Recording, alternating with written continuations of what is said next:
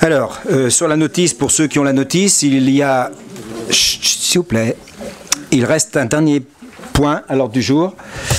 euh, que va présenter Madame Roulet. C'est une délibération pour le passage d'un itinéraire de randonnée sur des chemins ruraux.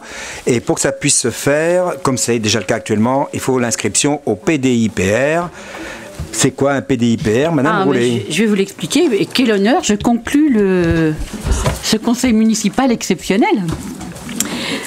Alors, le PDIPR, c'est le plan départemental des itinéraires de promenade et de randonnée. Et donc là, le département nous demande de, de délibérer en conseil municipal pour le passage d'un itinéraire sur notre commune. Donc, c'est un, en fait, pour ceux qui connaissent un peu notre commune, c'est le chemin des, châteaux. Voilà, qui passe sur notre commune, qui fait un, et c'est surtout pour être inscrit au topo guide.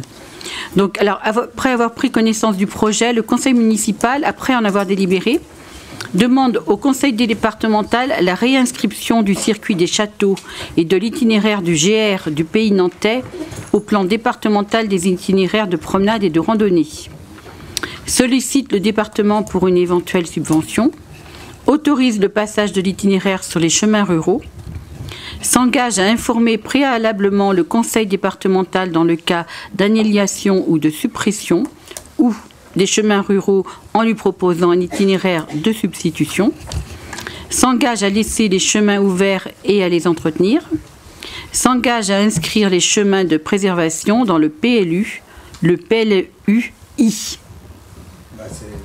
Alors, le I, c'est intercommunal. Oui, mais ça, ça ne concerne que les communautés de communes. Peut-être, pas- mais il faut l'inscrire euh, Comme ça. sur le conseil municipal. Voilà. Donc, je mets. eh, Avez-vous des questions? De toute façon, Non. non. Ah, bah quand même. euh. Et euh, je passe au vote.